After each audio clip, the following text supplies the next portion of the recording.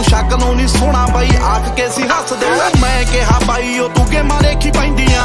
ਕਰਦਾ ਜੋ ਗੱਲਾਂ ਇਹ ਸਦਾ ਨਹੀਂ ਉਹ ਰਹਿੰਦੀਆਂ।